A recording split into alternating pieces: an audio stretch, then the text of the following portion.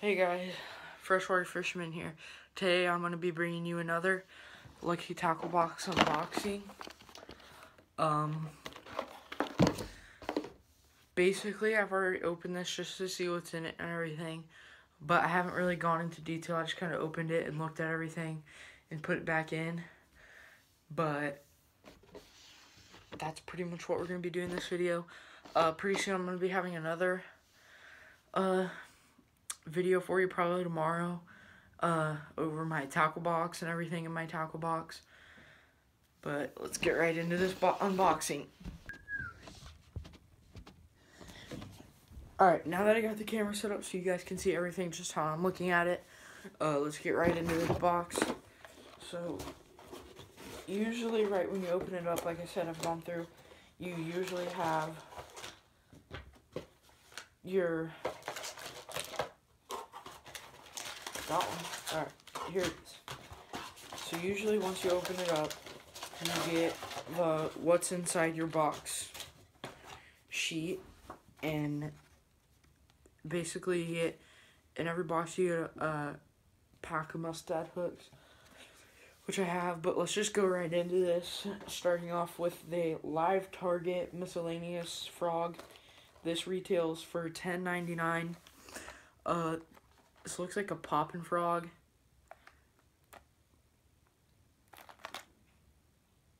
Yeah, it's a poppin' frog. But the paint job on this thing looks like a real frog.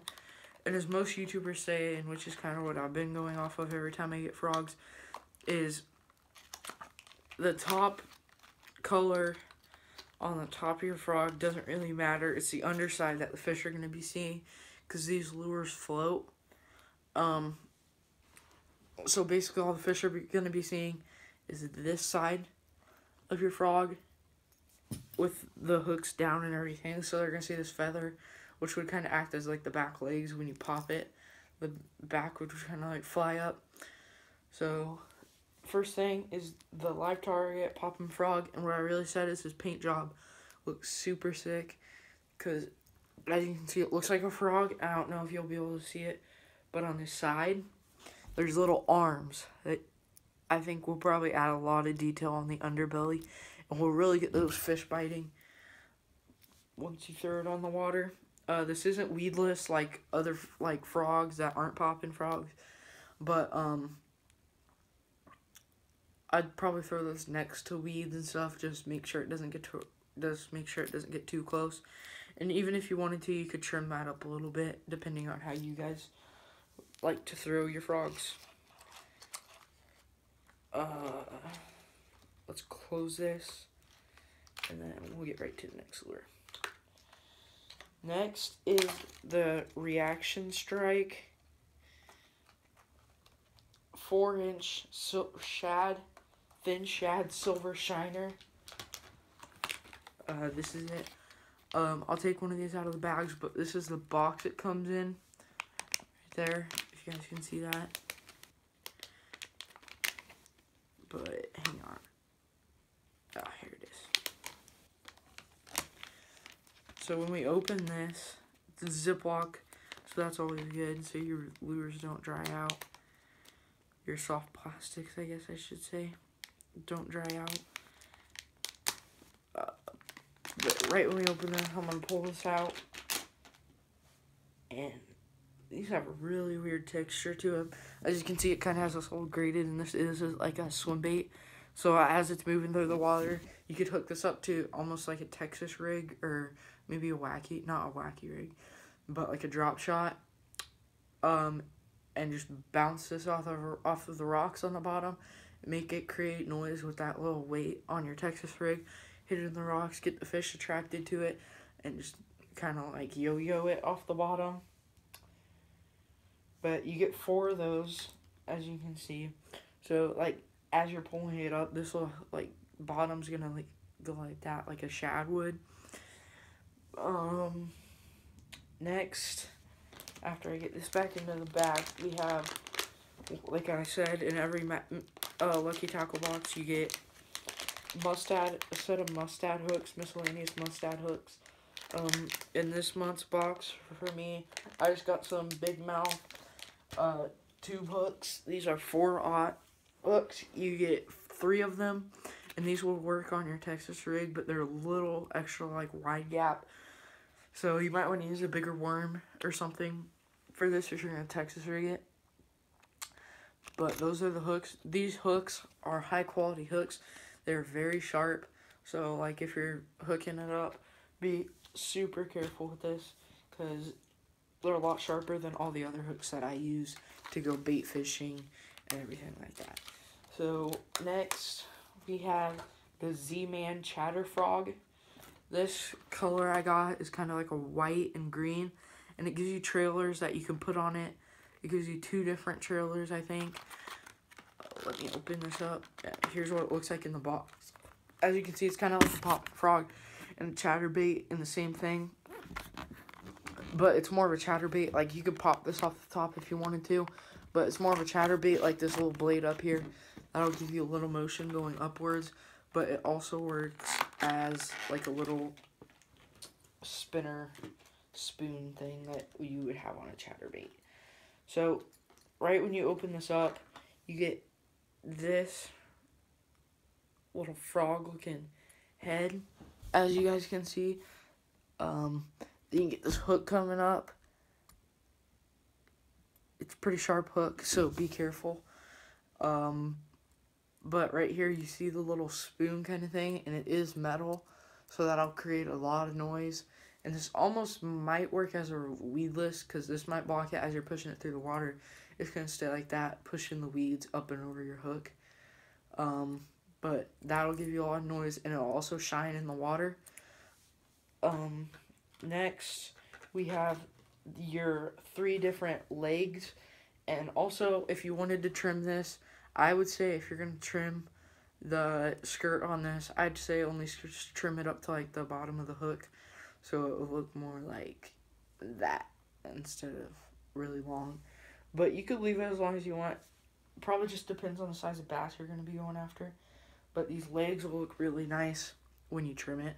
So what you're going to want to do is there's a little hole in the middle. I hope you get guided through. So you just put poke this through here. And right when you get about halfway down the thickness of the body, just kind of turn your hook to where it goes through the outer side of your bait. So once you get it to look like that, just push it up and then that skirted jig will help hide it, and the legs will kick up dirt and everything. Um, I wouldn't necessarily throw this into like a brush pile like you would with maybe like a weedless, a regular weedless frog, and maybe push the hook down a little bit more to the bottom instead of how I had it in the middle, and then you get more cover from that hook. But that's basically what you're gonna want to do with this. Um, and once again, why you would want to trim that skirt, um, it is like a very, very big skirt that's on this thing. Uh, and also so you guys know, the little frog legs that are behind this thing are not meant to come off when you get them on. Just saying. They're super hard to get off. But it comes, you get this green and white kind of color with green sparkles. That would look really nice. And then you get a white and green sparkled one. Let me see how we're doing on time. Alright, we've got plenty of time. Um, next we have both of these. The live target lure, I forgot to say, was ten ninety nine. Reaction strike, silver shad colored ones were seven ninety nine, and the mustad hooks were five dollars on the dot. The Z Man Chatter frog was four ninety nine. And let me try and get this back in here real quick. Uh, but there's that chatter frog. That's a really nice lure. I'm excited to throw that. And let's close it up.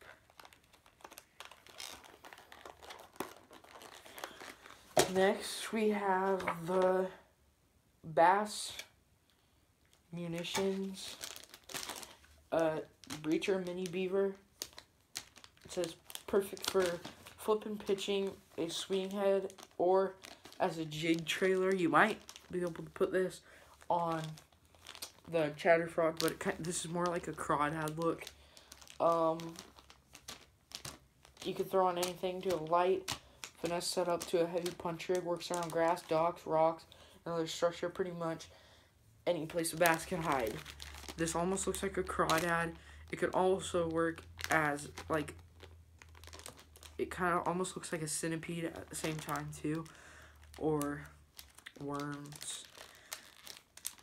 Could be an ultra thick worm. These are some pretty nice looking crawdad things, and the only reason I was saying that is because these little things coming off.